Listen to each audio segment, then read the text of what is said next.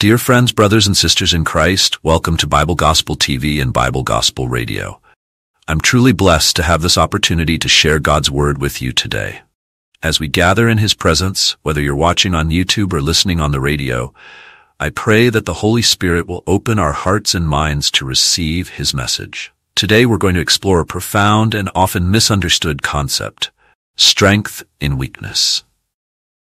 Now, I know what you might be thinking. Preacher, that doesn't make any sense. How can weakness be a source of strength? Well, my dear friends, that's exactly what we're going to discover together as we delve into God's Word. In a world that celebrates power, success, and self-sufficiency, the idea of finding strength in weakness seems paradoxical. But as we'll see, this concept is at the very heart of the Christian faith. It's a truth that has the power to transform our lives, our relationships, and our walk with God. So let's open our Bibles and our hearts as we explore this beautiful mystery of God's kingdom. Are you ready? Let's begin. The biblical foundation of strength and weakness. To understand this concept, we need to start with the words of the Apostle Paul in 2 Corinthians 12, 9 to 10. Let's read it together from the King James Version. And he said unto me, My grace is sufficient for thee, for my strength is made perfect in weakness. Most gladly, therefore, will I rather glory in my infirmities, that the power of Christ may rest upon me. Therefore I take pleasure in infirmities, in reproaches, in necessities, in persecutions, in distresses for Christ's sake. For when I am weak, then am I strong. Beloved, these verses encapsulate the essence of our message today. Paul, one of the greatest apostles, is sharing a profound revelation he received from the Lord. God told him that his grace is sufficient, and his strength is made perfect in weakness. Now let's consider the context. Paul had been dealing with what he called a thorn in the flesh. We don't know exactly what this thorn was. It could have been a physical ailment, a spiritual struggle, or a persistent temptation. What we do know is that it was something that made Paul feel weak and inadequate. Paul pleaded with God three times to remove this thorn, but God's response wasn't to take away the weakness. Instead, he revealed to Paul that his grace was sufficient and that his power would be displayed more perfectly through Paul's weakness. This, my friends, is the foundation of our understanding of strength in weakness. It's not about pretending to be strong when we're not. It's about recognizing our weaknesses and allowing God's strength to shine through them. A personal reflection. Let me share a personal story with you. A few years ago, I was asked to speak at a large conference. It was an incredible opportunity, but I was terrified. Public speaking has always been one of my greatest fears. As the day approached, I felt increasingly anxious and inadequate. The night before the conference, I was on my knees, pouring out my heart to God. Lord, I prayed, I can't do this. I'm not eloquent enough, not wise enough, not good enough. Please take this cup from me. In that moment of desperation, I felt God's presence wash over me. It was as if he was saying, my child, you're right. You can't do this, but I can. Let your weakness become the stage on which my strength will perform. The next day, as I stood trembling before the crowd, I surrendered my weakness to God. And you know what? It was one of the most powerful speaking experiences of my life. The words flowed, hearts were touched, and lives were changed. Not because of my strength, but because of God's power working through my weakness. This experience taught me firsthand what Paul meant when he said, For when I am weak, then am I strong. It's a lesson I've never forgotten, exploring the concept of strength in weakness. Now let's dive deeper into what strength in weakness really means in our Christian walk. This concept challenges our natural understanding of strength and weakness. In the world's eyes, weakness is something to be ashamed of, something to hide or overcome. But in God's economy, it's often the very thing he uses to display his power. Consider these words from 1 Corinthians 1, 27 to 29.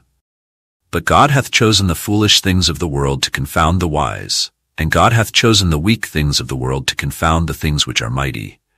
And base things of the world, and things which are despised, hath God chosen, yea, and things which are not, to bring to naught things that are, that no flesh should glory in his presence. Do you see what God is doing here? He's turning our understanding upside down. He chooses the weak to shame the strong, the foolish to confound the wise. Why? So that no one can boast before him. This principle is woven throughout Scripture. Think about some of the great heroes of faith. Moses, who stuttered and felt inadequate as a speaker, became God's mouthpiece to Pharaoh and led the Israelites out of Egypt. Gideon, who considered himself the least in his family, was called a mighty man of valor by God and led a small army to victory against overwhelming odds. David, a young shepherd boy, defeated the giant Goliath with just a sling and a stone, relying on God's strength rather than human might. In each of these cases, God didn't choose the strongest, the most eloquent, or the most qualified.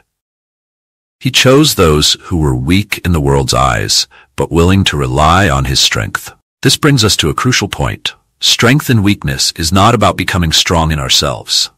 It's about becoming weak enough to rely fully on God's strength. It's about surrendering our self-sufficiency and allowing God's power to work through us. The Apostle Paul understood this well. In 2 Corinthians 4, 7, he writes, But we have this treasure in earthen vessels, that the excellency of the power may be of God, and not of us. We are but earthen vessels, fragile, imperfect, and weak. But within us, we carry the treasure of God's power. Our weakness becomes the perfect backdrop for His strength to shine. Applying strength and weakness to our daily lives. Now, my dear friends, you might be wondering, how do I apply this principle to my life? How can I find strength in my weakness? First, we need to be honest about our weaknesses. This can be uncomfortable. We live in a world that tells us to hide our flaws, to present a perfect image. But God calls us to a different standard. He invites us to acknowledge our weaknesses, not to wallow in them, but to bring them to Him. Take a moment right now to reflect. What are your weaknesses? Is it a struggle with temptation? A fear that holds you back? a past mistake that haunts you? Whatever it is, I want you to know that God isn't surprised or disappointed by your weakness. In fact, He's waiting for you to bring it to Him so He can display His strength through it. Second, we need to surrender our weaknesses to God. This means letting go of our attempts to overcome them in our own strength. It means saying, Lord, I can't do this on my own. I need your strength. Third, we need to trust in God's sufficiency. Remember what God told Paul? My grace is sufficient for thee. His grace, His unmerited favor and empowering presence is enough. It's all we need. Fourth, we need to step out in faith. When God calls us to do something that seems beyond our abilities, we need to remember that He doesn't call the qualified, He qualifies the called. Your weakness is not a disqualification. It's an opportunity for God to show His strength. Finally, we need to give God the glory. When we accomplish something despite our weaknesses, it's tempting to take the credit. But remember, the whole point of strength and weakness is that the excellency of the power may be of God and not of us. Overcoming challenges. Now I know that embracing our weaknesses isn't easy. We face many challenges in this journey. Let's address some of them. Pride. Our pride often resists the idea of being weak. We want to be self-sufficient, capable, strong. But remember the words of Proverbs 16:18, Pride goeth before destruction, and an haughty spirit before a fall. Humility is the key to experiencing God's strength in our weakness. Fear of vulnerability. Acknowledging our weaknesses makes us feel vulnerable. But it's in this vulnerability that we experience true connection, both with God and with others. As James 5:16 encourages us, confess your faults one to another and pray one for another that ye may be healed misunderstanding God's purpose. Sometimes we think that if we're weak, God can't use us. But the opposite is true. God delights in using the weak things of the world to accomplish his purposes. Comparison. In this age of social media, it's easy to compare ourselves to others and feel inadequate. But remember, God has uniquely created and called you. Your journey is not meant to look like anyone else's. If you're struggling with these challenges, I want to encourage you with the words of Isaiah 41:10. Fear thou not, for I am with thee. Be not dismayed, for I am thy God. I will strengthen thee, yea, I will help thee, yea, I will uphold thee with the right hand of my righteousness. God is with you, he will strengthen you, he will help you, he will uphold you.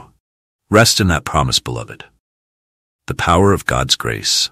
As we near the end of our time together, I want to emphasize the incredible power of God's grace. Grace is not just God's unmerited favor, it's also his empowering presence in our lives. The Apostle Paul, who understood weakness perhaps better than anyone, wrote these powerful words in 2 Corinthians 12:9. And he said unto me, My grace is sufficient for thee, for my strength is made perfect in weakness. Most gladly, therefore, will I rather glory in my infirmities, that the power of Christ may rest upon me. God's grace is sufficient. It's enough. It's all we need. When we are weak, His grace empowers us. When we feel inadequate, His grace qualifies us. When we fail, His grace restores us. This grace is available to you right now, wherever you are, whatever you're facing. You don't have to be strong. You don't have to have it all together. You just have to be willing to receive His grace and allow His strength to work through your weakness. Remember, in God's kingdom, weakness isn't a liability. It's an opportunity. An opportunity for God to display His power. An opportunity for us to experience His grace in a profound way. An opportunity for His strength to be made perfect in our lives. My dear brothers and sisters in Christ, as we conclude this devotion, I want to leave you with a challenge and a word of encouragement. The challenge is this. Embrace your weaknesses. Don't run from them, hide them, or try to overcome them in your own strength. Instead, bring them to God. Offer them as opportunities for His strength to be displayed in your life. The encouragement is this. God's power is made perfect in weakness. Your weaknesses, your struggles, your inadequacies, they are not obstacles to God's work in your life. They are the very stages on which His power will be displayed. So today I invite you to pray with me. Heavenly Father, we come to you acknowledging our weaknesses. We've tried to be strong on our own, and we've failed. Today, we surrender our weaknesses to you. We invite your strength to work in us and through us. Help us to rely not on our own power, but on your all-sufficient grace. May our lives display your strength, and may all the glory be yours. In Jesus' name, amen. Remember, beloved, when you are weak, then you are strong, because his strength is made perfect in your weakness. May you walk in this truth today and always. Thank you for joining us on Bible Gospel TV and Bible Gospel Radio. Until next time, may God's grace and peace be with you all.